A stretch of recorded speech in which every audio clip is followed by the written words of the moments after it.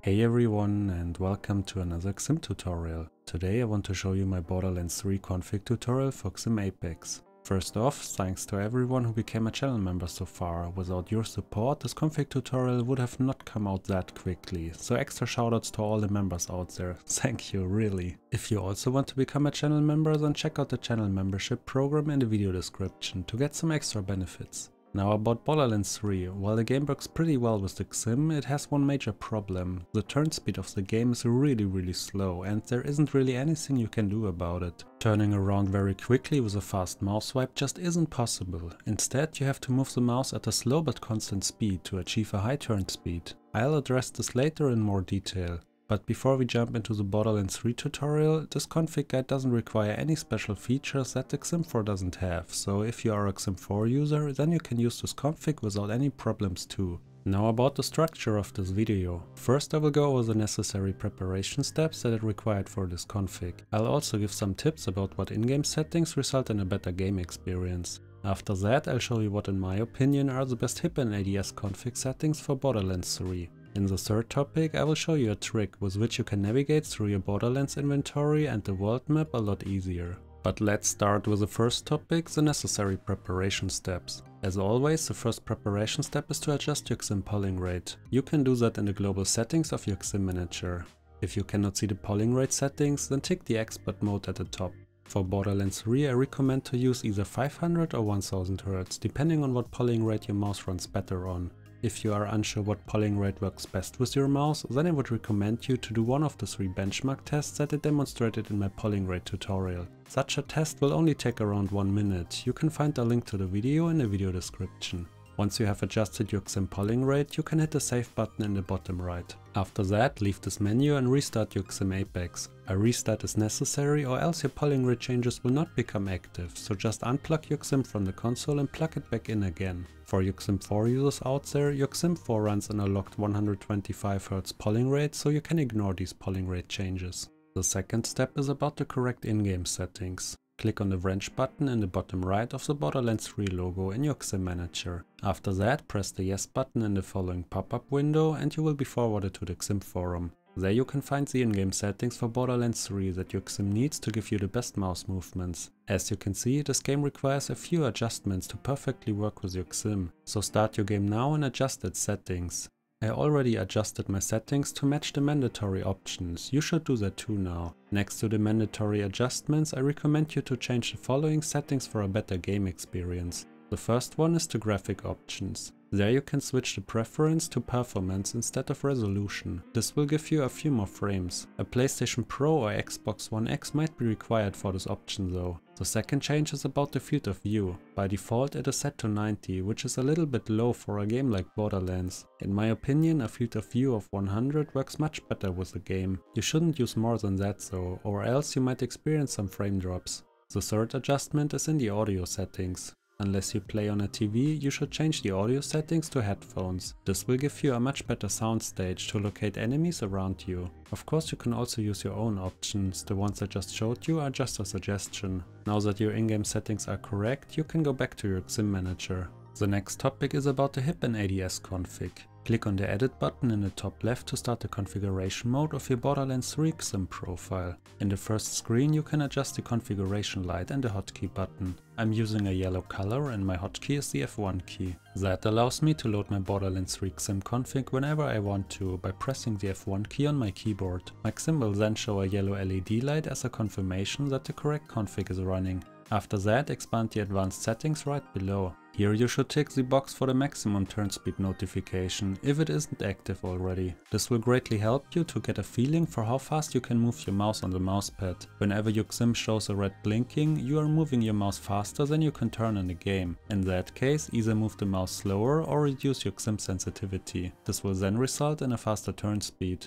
Now let's swipe to the right to enter the HIP menu. The first thing you should do here is to adjust your synchronization settings. In my opinion, synchronization default and common give the best mouse movements in Borderlands 3. Default works great for slow sensitivities, while common is better for mid to fast sensitivities. My sensitivity in Borderlands 3 is rather average, which is why I'll go with common for this tutorial. For Borderlands 3 the synchronization doesn't play such a big role as in other games. Except for synchronization slow, all of the available sync profiles play really really well. For the smoothest mouse movements I'd still recommend to use default and common though. Once you have adjusted your synchronization value, you can continue by adjusting your hip sensitivity. I use a sensitivity of 35 with a mouse DPI value of 3200. If you are unsure what DPI value works best for your setup, then you can watch my XIM mouse DPI tutorial. Usually too much DPI can cause mouse stutter. I also have a tutorial on my channel on how to find your optimal mouse sensitivity with which you have the highest accuracy, in case you do not know with what XIM sensitivity value you should play with.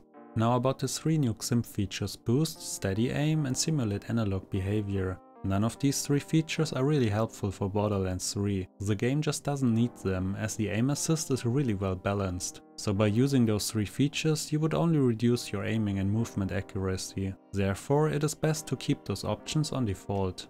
Now scroll down a little bit until you can see the button bindings. Here you can either copy my button layout that you can see right now or you go with your own one. If you want to use the inventory config later, then you should memorize the following two button bindings though. The first one is the button that I bound to the touchpad, in my case the tabulator key. It's the key that brings up your inventory in the game. The second button that you should memorize is the key you bound to crouch, so in my case the left control key. At the very bottom of your button bindings you can find the option to switch to the secondary button bindings. There you can bind every controller action a second time. I have no need for this though. Once your button bindings are complete, you can swipe to the right in your hip menu to enter the ADS configuration. Again, the first thing you should do here is to adjust your synchronization settings. To have the same mouse feeling between hip and ADS, I usually recommend to use the same synchronization for both, so I'll go with common again. The next thing you should do is to adjust your aim down sight sensitivity. My preferred XIM aim down sight sensitivity for Borderlands 3 is 25.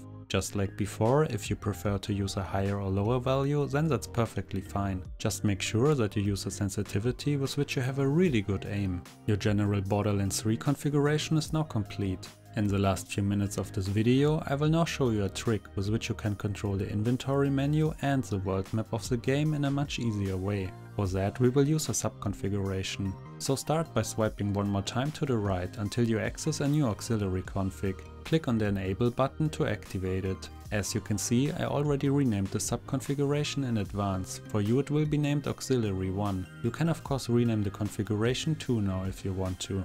Now the first thing you should do is to untick the inherit box at the very top. After that you can bind an activation key. Do you still memorize the inventory button from your hip config? Mine is the tabulator key and it is also the activation key for the sub configuration. On the right side of the activation key you have to set the activation method to toggle, so tick the box right next to it. After that expand the advanced settings right below. There you have to set the delay to 50 milliseconds. As a deactivation key you now have to bind your crouch button from your hip config. My crouch button is the left control key. The next thing to do is to adjust the sensitivity. It should be twice as fast as your hip sensitivity. Since my hip sensitivity is 35, I will go with 50 for the sub configuration. This will ensure that you can tilt the world map up and down much easier. Now expand the advanced settings right below and pick the same synchronization that you use in your hip configuration. For me that means I will go with common again. The last important step comes now. Scroll down to the button bindings. There you have to make quite some adjustments now. Start by deleting your touchpad button, which you used to launch the inventory in the game. It's the same button that you had to memorize, so set this button binding to none or else the sub configuration will not work. You do that by double clicking onto that button binding. After that you can scroll up again and start to copy my button bindings. With 3 and 4 you can zoom in and out of the world map. 1 and 2 are used in the world map for missions and waypoints. Mouse forward and backward allow you to swipe to the left and right in your inventory menu. With WASD you can navigate up, down, left or right. The last important step is the crouch key. It has to be the same key as in your hip configuration. Of course you can also use your own button bindings, but these work very well in my opinion. If you have bound any actions in your secondary button bindings, then please delete those now. My secondary button bindings are all set to none, which is very important for the sub configuration. So how does the sub configuration work now? If you want to use your inventory, just press your regular inventory button. This will automatically also activate the sub configuration. When you want to close the inventory menu, you can just press the same button again, or you use your crouch key. The game will close the inventory and your XIM will automatically switch back to your regular Borderlands 3 config. There is one exception though. If you use the quick travel option, you will have to press the crouch key afterwards to reset the sub configuration. Otherwise you will continue to play with your inventory config. Your Borderlands 3 configuration is now complete. You can hit the save button in the top left and exit the configuration mode. As always, you can find the copy and paste code for this whole Borderlands 3 configuration in the video description down below. If you have any questions about the XIM or about this Borderlands 3 configuration, just ask in the comments down below. Guys, if you like this video, hit the like button or even subscribe to this channel. And for the crazy guys out there, you can even become a channel member now, I'd really really appreciate that. Also, let me know if you would like to see more of these tutorials in the comments down below. But that's about it for this video guys, thanks for watching and I will maybe see you in the next one.